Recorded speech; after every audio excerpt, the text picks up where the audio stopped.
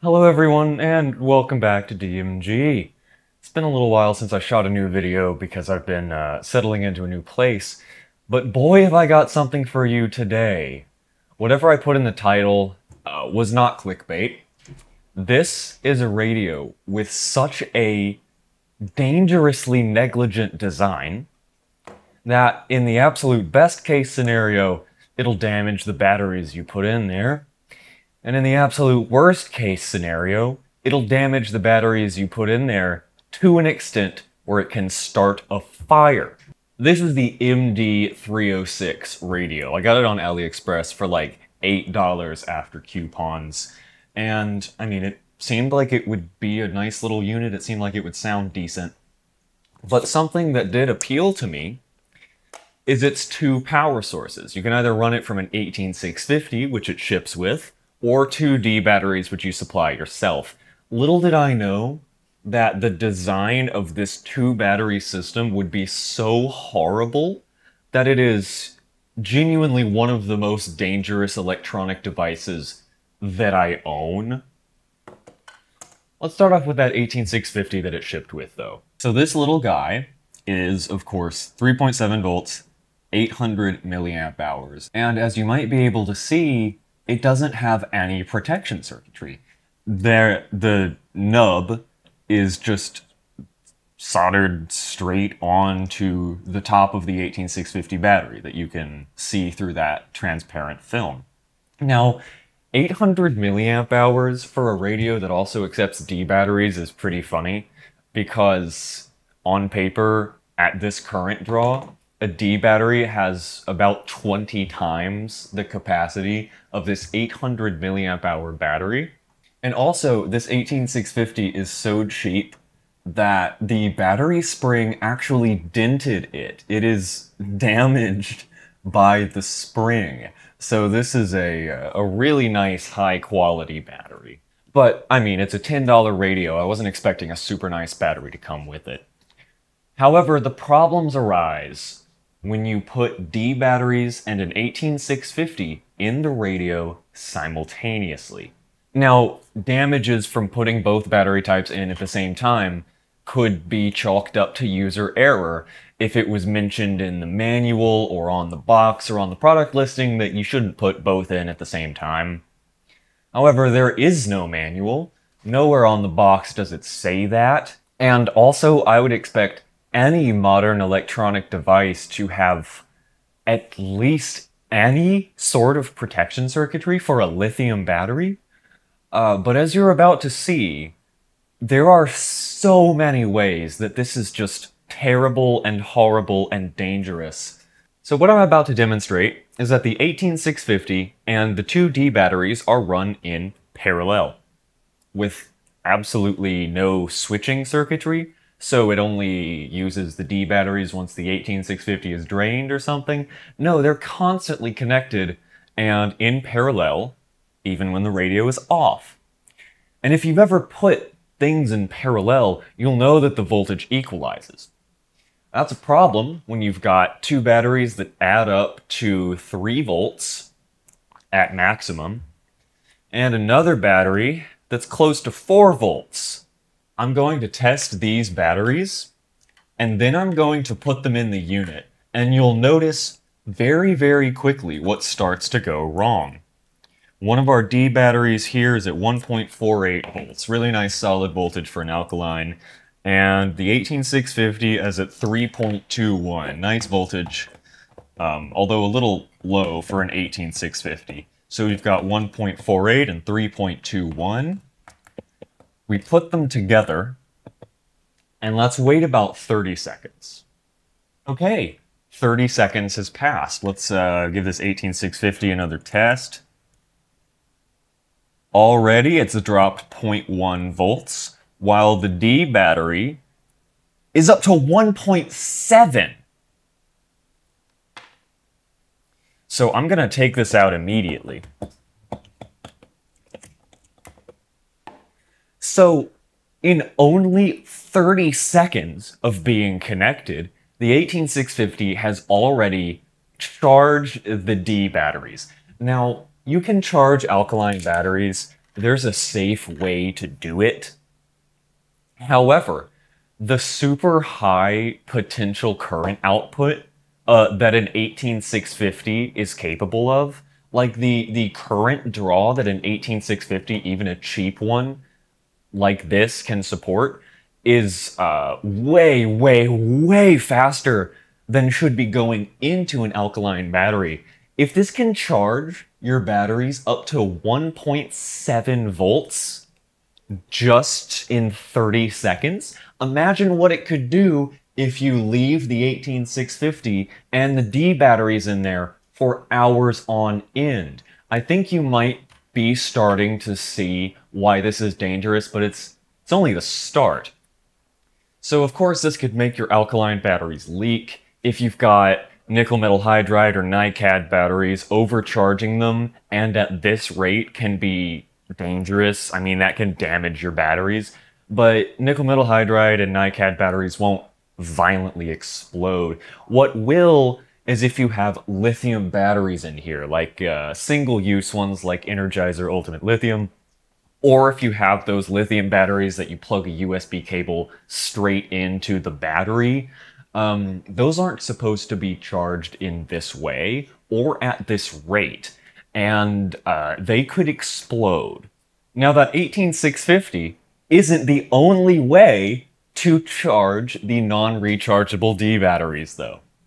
If we put only two D batteries in here, take the 18650 out, set it on the desk, and I grab a USB power bank and plug it into the top, the power bank turns on, and so does the red charging LED on the unit. So that means that the power bank is outputting power into the unit, and the red light means that it's charging. And uh, let's poke and prod at those D batteries again and we're going to see that voltage coming up once again to a dangerous level. Holy shit.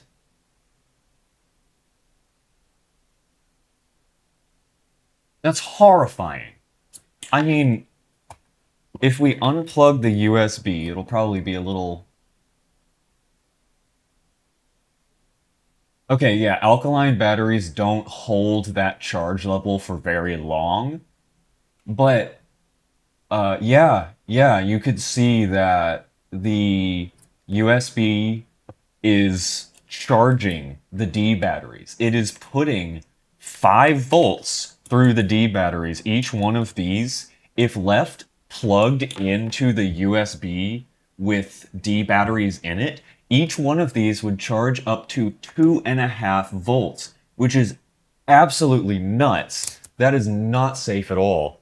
So if you were to say the D batteries in here die, and you're like, oh, that's fine. I've got a USB charger. You plug it into the, the charging port on top and listen to some music, thinking, oh, it'll know not to charge the D batteries. I can just use it plugged into the wall for a while. Little do you know, while you're listening to your music, your D batteries are charging to a seriously dangerous level. Now, if you'd taken even an entry level electrical engineering course, you would know that if you have a battery at 4.8 volts and a battery at 3.6 volts, they'll average out to 4.2 volts if you run them in parallel. Do you get what I'm getting at here? So, the unit stops charging 18650 batteries at 4.2 volts. D batteries charge a hell of a lot slower than 18650s. So, if you have both in there and you plug it into a charger, the significant voltage difference between the two battery types will cause the 18650 to be dangerously overcharged. Let's use that example. Um, if your D batteries are only at 3.6 volts, which is too high for D batteries anyway, and your 18650 is charged all the way up to 4.8, that'll average out to 4.2 volts, the cutoff voltage for charging an 18650. So, in reality, that means that the system will stop charging the 18650 way, way later than it ever should because the other two batteries are bringing down the average voltage while the 18650 continues to charge to dangerous levels. And once again, this is a cheap 18650 with no overcharge protection, absolutely nothing to limit its rate of charge or discharge. It's a completely unprotected cell. And if you have an unprotected cell, your device should be designed in a way where it can do the protection itself. Now, another problem that could arise is there doesn't really seem to be a minimum voltage cutoff. I've tested this and it'll drain 18650s well into the dangerously low range that can cause permanent battery damage. The op amp and radio chip in this set have a minimum voltage minimum supply voltage of barely over 2 volts. One of them's 2.1 volts, one of them's 2.2. That's fine on the D batteries. It'll drain them down to a little over 1 volt each. That's not good for an 18650. If you put the 18650 in there along with the D batteries, the voltage will once again average out. They'll hit an equal voltage. So that means your 18650 will be drained down to 2 volts flat, which is terrible for the battery. 18650 should never go below 2.5 volts, and really it should be kept closer to 2.8 as the absolute minimum that you discharge them to if you want them to last a while. So, I mean, I guess that's the, the least bad of the problems because it's a lot better to over discharge these than to overcharge these and also overcharge non rechargeable batteries. But still, that's bad. I mean, it's going to ruin your batteries because it's discharging them far below the threshold that they should ever be discharged to. So I've shown you the fact that the 18650 constantly wastes its power by draining into the alkaline batteries. I've shown you the fact that the alkaline batteries get dangerously overcharged when it's plugged into the USB, and I've explained all of the problems that come with running a lithium and two 1.5 volt batteries in parallel constantly with absolutely no protection.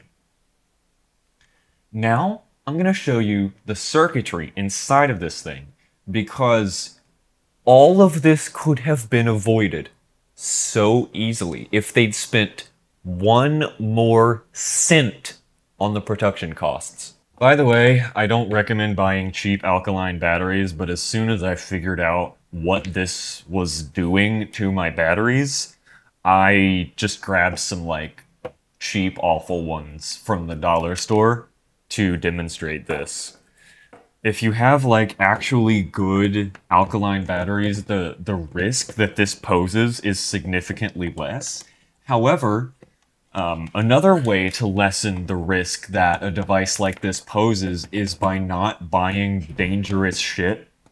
Oh yeah, something I didn't even mention is that it has a, uh, a flashlight on the end here. It looks about 100 lumens brightness. I mean, it's okay in a pinch if you really need one.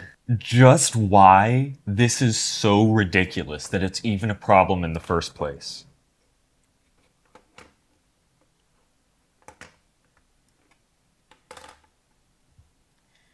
There's our PCB. And as you can see, a couple things connect over little cables so they can be removed. One of them's the flashlight, one of them's the speaker, and one of them is the 18650 battery compartment.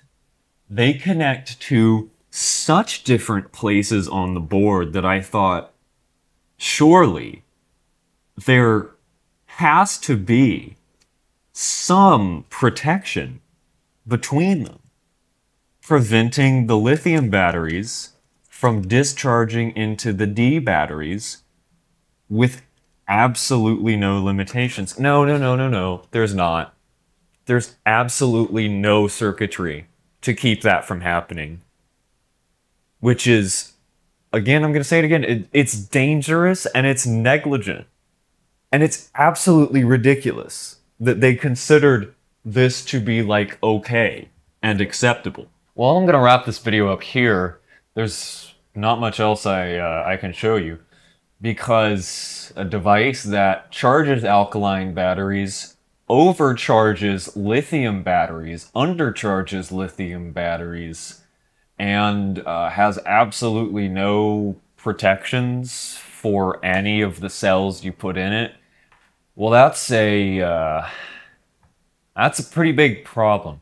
Well, I hope this was entertaining, seeing me dissect and uh, show off everything that's wrong with this. I hope you're convinced that you should absolutely never buy it.